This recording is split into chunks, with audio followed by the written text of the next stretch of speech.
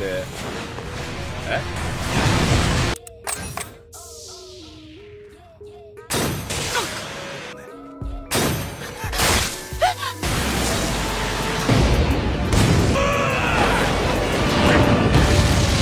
フェーダーツビング。Terima kasih yang sudah klik video ini. Jangan lupa nonton sampai akhir ya cuy. Serta klik langsung tombol subscribe-nya sekarang juga. Oi wak-wakku selamat datang di channel gue yang penuh dengan alur cerita anime terbaru dan terseru cuy.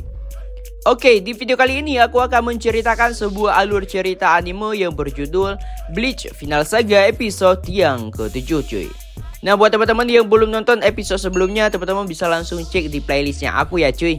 Di episode sebelumnya, Yuhabah yang sudah menyerap semua kekuatan Raja Roh Reyo, dia langsung menggunakan kekuatan itu untuk mengubah bentuk kerajaan istana menjadi kota Quincy cuy. Pastinya kelompok Ichigo dan para pasukan penyerbu lainnya kaget melihat perubahan yang sudah dilakukan oleh Yuhabah.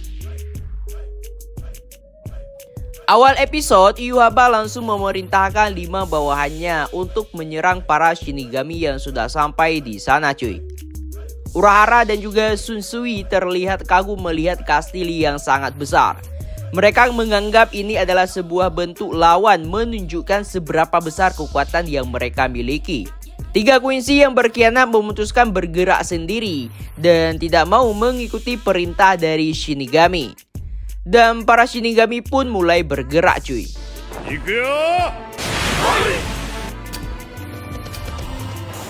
Di sisi lain kelompok Ichigo juga mulai bergerak. Di saat dalam perjalanan, Urahara tidak melihat Kapten Kurosuchi. Dan pastinya Sun Sui langsung menyadari ada hal yang aneh tentang menghilangnya Kapten Kurosuchi cuy. Kemudian scene berpindah Ternyata Kurok Suci masih sempat-sempatnya menguji penelitiannya Yaitu memindahkan pintu ke mana aja Ya teman-teman tahulah gerbang itu Untuk bepergian ke lokasi di mana aja di kerajaan istana cuy. Senyuman sinis terlihat jelas di wajah Kurok Suci. Namun senyuman itu malah menjadi wajah kaget ketika Kapten Zaraki secara tiba-tiba muncul dari arah belakangnya cuy. Ternyata Zaraki sempat-sempatnya juga nih cuy pergi ke toilet saat gerbang pertama dibuka. Dan pastinya dia ketinggalan dong. Namun untungnya Kurok Suci membuka kembali gerbang ataupun pintu itu dan langsung masuk dari arah belakang Kurok Suci cuy. Ichigo berharap bisa bertemu dan bergabung dengan Kuchiki dan Renji. Tapi dia tahu hal itu pasti akan terjadi karena mereka menghadapi musuh yang sama. Tapi sialnya mereka malah bertemu dengan Askin dan Grimjo pun malah bertindak gegabah lalu menyerang si Askin tersebut. Tak semudah itu dong mengalahkan Askin. Askin yang sudah bangun langsung lari cuy. Aneh banget dia orang, kocak lu Askin. Lantas Grimjo akan diam saja. Pastinya tidak dong. Dia langsung mengejar Askin cuy. Sambilan berlari, Askin berkata, Aku di sini bukan untuk bertarung. Aku di sini untuk membunuh kalian. Ichigo dan yang lainnya malah kehilangan jejak Grimjo dan Askin. Dan mereka terus mencari dua orang itu cuy. Padahal Askin malah sedang mengintai dari arah atas. Askin merasa kalau dia sudah berhasil kabur dari Grimjo. Padahal Grimjo malah berada tepat di belakangnya cuy.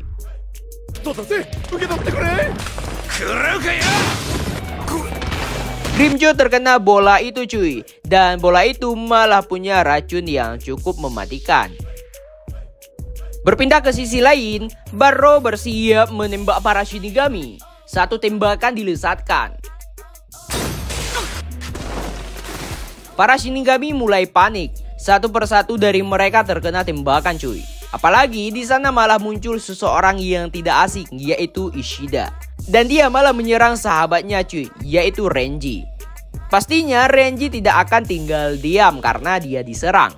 Renji langsung menyerang Ishida serta menggunakan langsung bangkainya cuy.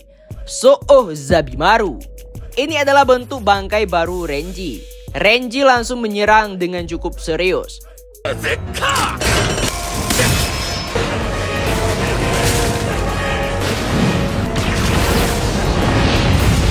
Pastinya Ishida tidak tinggal diam. Walaupun anak panah Ishida bisa dilenyapkan dengan sangat mudah oleh Renji. Lalu Ishida melancarkan serangan Liz Regan. Ratusan anak panas dilesatkan. Renji menahan serangan itu dengan jurus Hihio. Mudah bagi Renji yang sudah lebih kuat menahan serangan itu. Lalu Renji membalasnya dengan serangan bertubi-tubi cuy.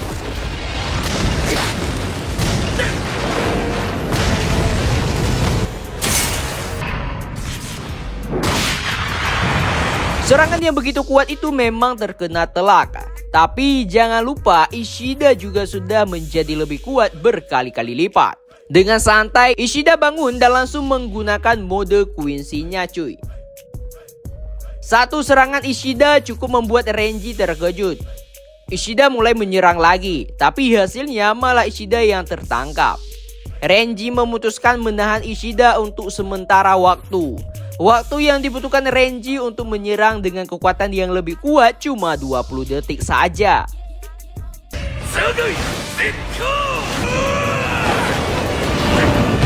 Serangan yang dilesatkan oleh Renji sampai dirasakan oleh Shinigami dan para kapten cuy. Padahal mereka berada cukup jauh dari pertarungan Renji dan Ishida. Shin kemudian berpindah, Grimjo masih tidak bisa menggerakkan tubuhnya akibat terkena racun tadi cuy. Pastinya Askin berniat akan langsung segera membunuh Grimjo. Namun sebelum itu dilakukan, Ichigo sampai tepat waktu.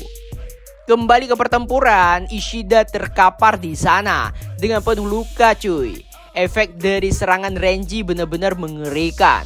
Tapi ini semua belum cukup. Ishida bangkit lagi nih cuy. Lalu dia berkata, Kau ragu-ragu. Apa ini pengaruh Kurosaki Ichigo? Belum sempat Renji menjawab hal itu, Ishida langsung menyerang cuy.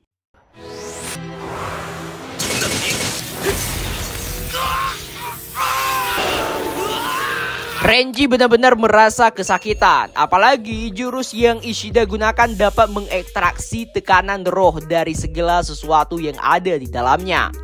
Jadi selama Renji berada di dalam ruangan itu, kemampuan Ishida mengekstrak Reishi akan merampas semua dari Renji. Setelah tekanan roh Renji hilang, maka Bangkai dan Shikai akan kehilangan kekuatannya.